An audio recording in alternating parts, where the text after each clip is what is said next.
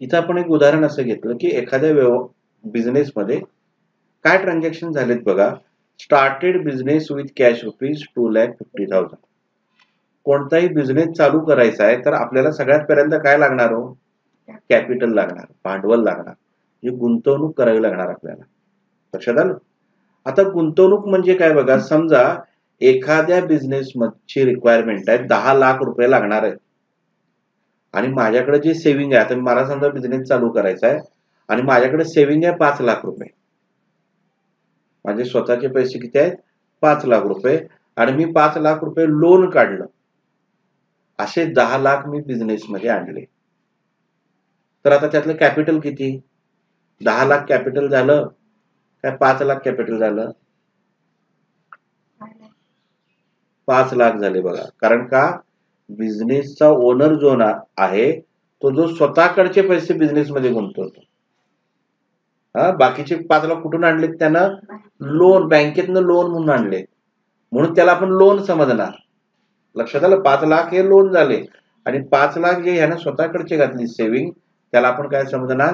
Capital म्हणून जे capital account असते बिझनेसमध्ये ते कुणाचं अकाउंट असते बिझनेसच्या ओनरचं अकाउंट त्यावरून आपल्याला काय कळतंय? त्या ओनरनं बिझनेसमध्ये किती रुपये गुंतवलेले. मग समजा ओनरनं स्वतःची बिल्डिंग आणली बिझनेसमध्ये तर ते कॅपिटल झालं.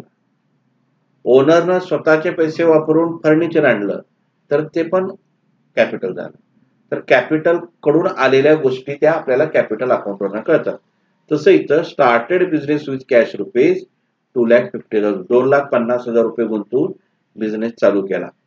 दुसरा व्यवहार काय हो? Opening a bank account in H D F C bank by depositing rupees fifty thousand पन्नास हजार रुपये त्यातले काय केले? बँकेमध्ये भरले. कुठले? हे जे दोन लाख पन्नास हजार बिझनेस मध्ये आले त्यापैकी पन्नास हजार कुठं भरले? बँकेत भरले आणि खातं उघडलं. त्याच्यानंतर जे दोन लाख रुपये उरलेले होते बिझनेसकडं त्यातले बावीस हजार रुपये देऊन गुड्स काय केले? परचेस केलेले. त्याच्यानंतर गुड्स जे आहेत ते आपण काय केले सेल केलेले आहेत कॅश म्हणजे इथं आपल्याकडून पैसे गेले आणि इथं आपल्याकडे पैसे आले. त्याच्यानंतर commission received of rupees three thousand five hundred by cash आपल्याला कमिशन मिळालं तीन हजार पाचशे. कसं? Cash goods sold against which received cheque and deposited in H D F C bank worth rupees forty five thousand म्हणजे काय केलं? आपण एखाद्याला गुड्स सेल केलेला आहे त्यांना आपल्याला त्या बदल्यात काय दिलेला आहे? चेक दिलेला आहे. आणि तो आपण कुठं डिपॉझिट केलाय? आपल्या बँकेमध्ये डिपॉझिट केला म्हणजे माझ्याकडे रोख रक्कम येण्याऐवजी बँकेत पैसे जमा होते. लक्षात आलं? Goods purchased from Sujata enterprises of rupees fifteen thousand on credit पंधरा हज़ार रुपयाचं आपण काय केलंय? सुजाता एंटरप्राइज कडून आपण गुड्स परचेस केलेले आहे.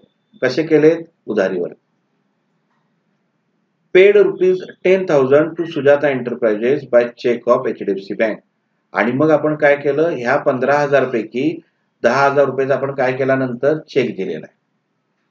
त्याच्यानंतर काय केलं बघा? Paid rupees two thousand nine hundred for printing and stationery printing and stationery जो काय आहे? खर्च जो आपला आहे त्याचे आपण दोन हजार नऊशे रुपये दिलेले आहेत. Goods return to Sujata enterprises of rupees five hundred Sujata एंटरप्राइजेसला पाचशे रुपयाचा माल आपण परत दिला. त्याच्याकडून आपण पंधरा हजार रुपयाचा माल खरेदी केलेला. त्यातला समजा पाचशे रुपयाचा माल आपल्याला खराब लागलाय आपण तो काय केला? परत देऊन टाकला. Withdraw cash rupees two thousand five hundred from H D F C bank H D F C बँकेतनं आपण काय केले? दोन हजार पाचशे रुपये काढले. Interest received of rupees one thousand five hundred by cash आपल्याला व्याज मिळालं. इंटरेस्ट म्हणजे काय? व्याज. रोख रकमेच्या रूपात आपल्याला व्याज मिळालं. Purchase plant and machinery of rupees fifteen thousand by cash आपण पंधरा हजार रुपयाची प्लांट अँड मशिनरी म्हणजे मशिनरी घेतली म्हणजे असेट घेतली रोखीनं.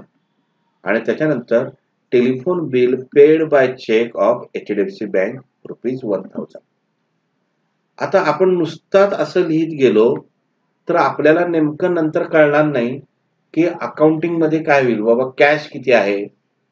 किंवा आपल्याकडे गुड्स आता किती आहे आपण किती देणं आहे? आपल्याला किती येणं आहे? हे नाही कळणार. मग हे आपल्याला सगळ्यात पहिल्यांदा व्यवहार बघितल्यानंतर आपल्याला सगळ्यात पहिल्यांदा काय करावं लागेल? त्याची जर्नल एंट्री करावी लागेल. जर्नल एंट्री म्हणजे डेबिट आणि क्रेडिटच्या फॉर्मॅटमध्ये किंवा टू आणि बायच्या फॉर्मॅटमध्ये लक्षात आलं? आता याची जर्नल एंट्री कशी होईल बघा मी इथं क्लिक करतो. पहिल्याची जर्नल एंट्री बघूया आपण. त्याचा फॉर्मॅट आहे. पहिला फॉर्मॅट आहे डेट तारखेचा फॉर्मॅट कोणत्या तारखेला तो व्यवहार झाला तो लिहायचा आहे. त्याच्यानंतर आहे पर्टिक्युलर्स नेमकं काय घडलंय? कोणाकोणामध्ये व्यवहार घडलाय? ते लिहायचं. त्याच्यानंतर इथं लिहिले बघा एल एफ एल एफचा अर्थ आहे लेजर पोलिओ म्हणजे इथून ते पोस्टिंग नंतर लेजरमध्ये होणार आहे. आणि ते नेमकं किती नंबरच्या पानावरती होणार आहे ते आपल्याला इथे लिहायचं असतं.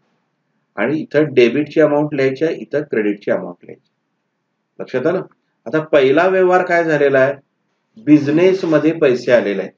आता आपण जे अकाउंटिंग करालोय ते बिझनेसचं करालोय. बिझनेसच्या ओनरचं नाही. अकाउंटन्सीमध्ये बिझनेसचा ओनर आणि बिझनेस या दोघांना वेगळं वेगळं समजलं जातं. आता आपण अकाउंटिंग कुणाचं करालोय? बिझनेसचं करालोय म्हणजे बिझनेसच्या दृष्टिकोनातून काय झालेलं आहे? बिझनेसमध्ये पैसे आलेले आहेत. लक्षात आलं? कारण जर आपण ओनरच्या दृष्टिकोनातून विचार केला तर तुम्ही काय म्हणणार? अडीच लाख रुपये गेले. पण तसं नाही. आपण अकाउंटिंग कुणाचं करालोय? बिझनेसचं त्यामुळे बिझनेसमध्ये अडीच लाख रुपये आलेले आहेत. म्हणून त्याची जनरल एंट्री काय करणार बघा? कॅश अकाउंट डेबिट आता कॅश अकाउंट डेबिट असं का म्हटलं आपण? कारण जे आपल्याकडं येतंय ते आपण नेहमी कुठं लिहितो? डेबिट बाजूला लिहितो. कॅश हे कुठलं अकाउंट आहे? रिअल अकाउंट आहे. आणि रिअल अकाउंटचा नियम काय आहे? Debit what comes in credit what goes out. या ठिकाणी कॅश आपल्याकडे यायला लागलेली आहे. त्यामुळे कॅश कुठे लिहिली आपण? डेबिट बाजूला. आणि तिथे अमाऊंट टाकली. त्याच्यानंतर टू कॅपिटल म्हणजे क्रेडिट. कुणाकडून कॅश आली? कॅपिटलकडून कॅश आली. म्हणजे हा बॅलन्स जो आहे हा क्रेडिट बॅलन्स आहे. क्रेडिट बॅलन्स समजा कॅपिटलचा आपल्या इथं जो क्रेडिट बॅलन्स असतो याचा अर्थ असा आहे की आपण त्याला तेवढे पैसे देणं आहोत. बिझनेसनं काय केलं पाहिजे? जो काय नफा होईल तो त्या कॅपिटलला द्यायला पाहिजे कारण त्यानं पैसे गुंतवलेले लक्षात आलं? हा? तर कॅपिटल अकाउंट दोन दोन लाख पन्नास हजार क्रेडिट आहे याचा अर्थ काय? बिझनेसला नफा झाला तर कुणाला द्यायचा आहे? कॅपिटलला द्यायचा आता इथं नॅरेशन लिहिलं. नॅरेशन म्हणजे काय बघा काय व्यवहार घडलेला आहे ते शॉर्टमध्ये तुम्हाला लिहायचं आहे. Being started business with cash नॅरेशनची सुरुवात ही नेहमी बिईंग न होते. बिईंगचा अर्थ काय? असे असे घडले. बिईंगचा अर्थ काय? असं असं घडलं. तर काय घडलं? स्टार्टेड बिझनेस विथ कॅश कॅशनं बिझनेस आपण चालू केला. आता दुसरा व्यवहार काय आहे बघा? Opening a bank account in H D F C bank by depositing rupees fifty thousand पन्नास हजार रुपये आपण बँकेत डिपॉझिट केले. का बँकेत आपण भरले हो? कारण बिझनेस म्हटल्यानंतर काही व्यवहार रोख रकमेनं होतील तर काही व्यवहार कशाने होतील? बँके थ्रू होतील. बँके थ्रू होतील म्हणजे काय? तुम्ही कोणाला तरी चेक द्याल किंवा तुम्ही ऑनलाईन पेमेंट कराल किंवा कोणीतरी तुम्हाला चेक देईल किंवा कोणीतरी तुम्हाला ऑनलाईन पेमेंट करेल. तर बँकेमध्ये आपण डिपॉझिट केले तर त्याची नोंद कशी होईल बघा? H D F C bank account debit पन्नास हजार to cash account credit credit आपण इथं म्हणू शकतो. हा? कॅश अकाउंट क्रेडिट क्रेडिट म्हणजे काय? आपल्याकडून गेली तेवढी. दोन लाख पन्नास हजार होते. त्यातले पन्नास हजार आपल्याकडून गेले. कुठे गेले? एच डी एफ सी बँकमध्ये गेले. म्हणजे आता काय झालं बघा आपल्याकडे दोन लाख रोख रक्कम आहे आणि पन्नास हजार बँकेचा बॅलन्स आहे. लक्षात आलं? आता इथं रूल काय आहे बघा? जेव्हा एखादी बँक एखादी कंपनी एखादी संस्था एखादी व्यक्ती असेल तर त्याला आपण काय म्हणतो? पर्सनल अकाउंट म्हणतो. आणि पर्सनल अकाउंटचा नियम काय आहे? Debit the receiver credit the giver. Debit म्हणजे स्वीकारणारा आणि क्रेडिट म्हणजे देणारा. आता H D F C bank आपल्याकडनं पैसे स्वीकारायला लागलेले त्यामुळे ती कुठे येणार? डेबिट बाजूला. आणि कॅश म्हणजे आपल्याकडनं जायला लागलेले जेव्हा कॅश आपल्याकडून जाणार तेव्हा ते येणार क्रेडिटला जेव्हा कॅश आपल्याकडे येणार तेव्हा ते येणार डेबिटला थोडक्यात एक सिंपल उदाहरण बघा. तुमच्या खिशामध्ये पाच हजार रुपये आहेत. तुम्ही कुणाला तरी दिले त्यातले एक हजार रुपये तर काय होणार? वजा होणार कमी होणार. मग तुम्ही ते काय करणार? क्रेडिट एक हजार रुपये दिले पाच हजार होते एक हजार दिले म्हणजे काय झाले? चार हजार रुपये झाले. आता तुम्हाला कोणीतरी दोन हजार दिले तर काय होईल? चार हजारमध्ये दोन हजार ऍड होतील.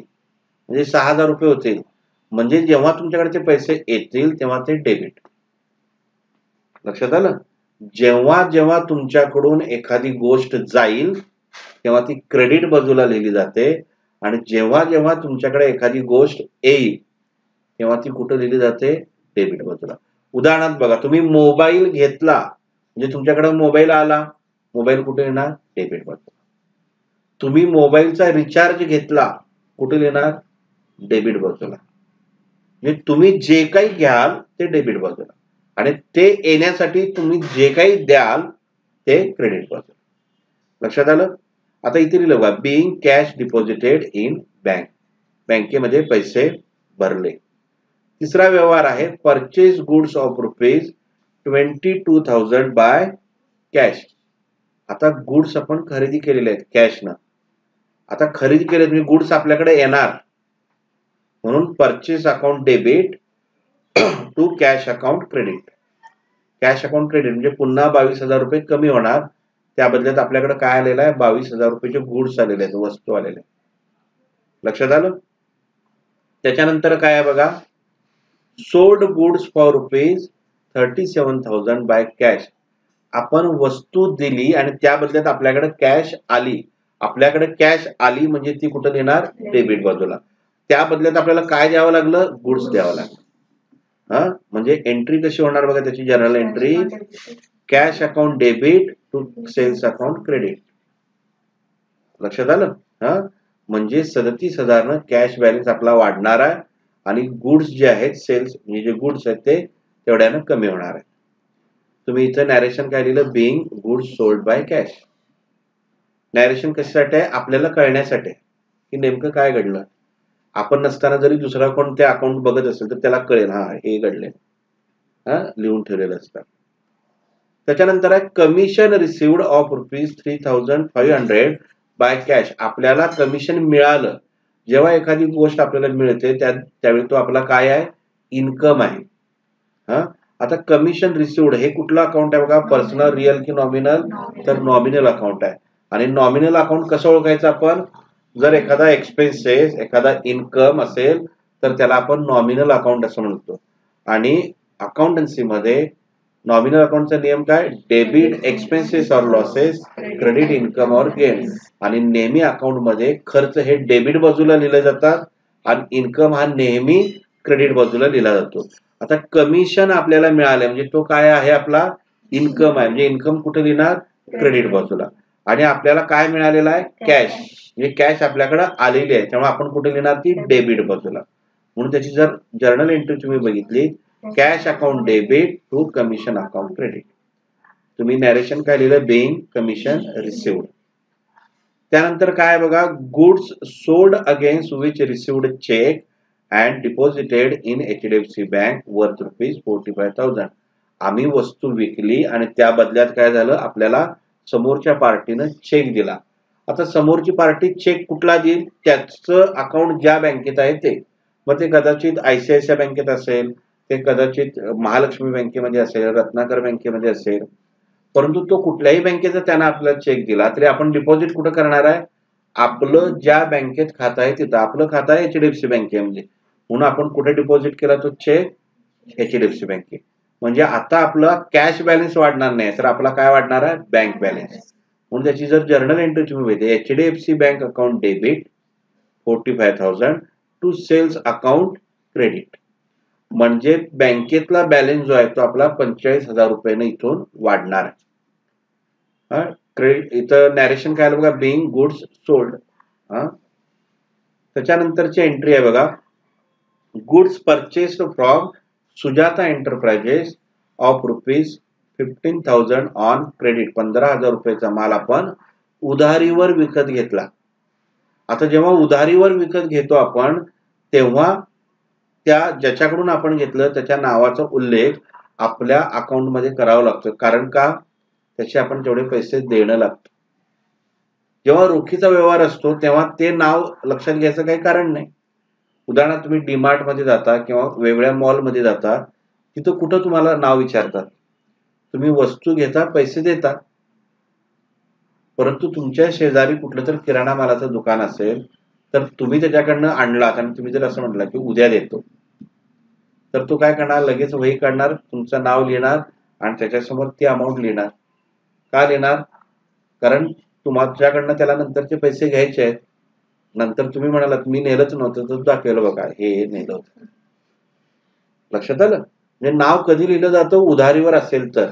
आता इथं जर असं उदाहरण असतं समजा goods purchased from Sujata enterprises of rupees fifteen thousand by cash तर सुजाता एंटरप्राइजेसचं नाव आलं नसतं.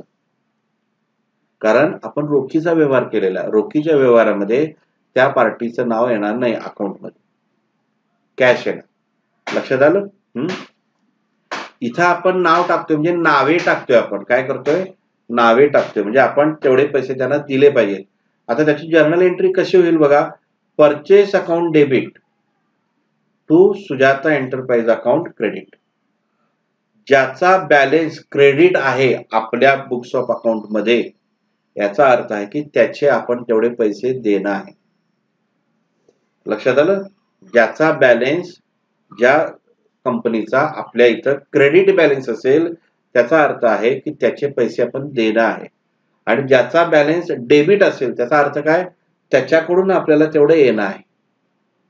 लक्षात आलं? हा? त्याच्यानंतर काय झालं बघा? Paid rupees ten thousand to Sujata enterprises by cheque of Bank. HDFC bank बँकेचा आपण काय केला? चेक दिला. दहा हजार रुपयाचा आता आपण द्यायला पाहिजे किती होते त्यांचे? पंधरा हजार. दिले किती? दहा हजार. म्हणजे एकूण पाच हजार रुपये देणं आपलं शिल्लक राहील आणि बँकेतनं दहा हजार रुपये काय होतील? बॅलेन्स कमी होईल. एंट्री कशी होईल बघा. बघा इथं Sujata enterprise account debit to HDFC bank account credit इथं सुजाता एंटरप्राइज कुठे होते? क्रेडिटला पंधरा हजार रुपये. आणि दहा हजार डेबिट क्रेडिट आणि नंतर आपण त्याला काय केलं? डेबिट जेव्हा आपण विरुद्ध अकाउंट वापरतो क्रेडिट डेबिटला वापरतो तेव्हा ते नेहमी मायनस होत. म्हणजे ते आधी क्रेडिट होतं नंतर आपण डेबिट केलं तर ते लेस होणार. ते आधी क्रेडिट होतं आणि पुन्हा आपण त्याला क्रेडिट केलं तर ते प्लस होणार. लक्षात आलं? सेम साईड आपण घेतली की प्लस होणार आणि अपोजिट साईड घेतली तर काय होणार? मायनस होणार. त्याच्यानंतर बघा प्रिंटिंग अँड स्टेशनरी इथं जर असाइनमेंटमध्ये आपण इथं बघितलं paid rupees two thousand nine hundred for printing and stationery printing and stationery हा आपला काय आहे हो? खर्च आहे. खर्च नेहमी कुठे लिहिला जातो? डेबिट बाजूला. आणि कॅश आपल्याकडून गेलेली आहे त्यामुळे कुठे दिली क्रेडिट बाजूला त्याच्यानंतर आपण काय केलेलं आहे?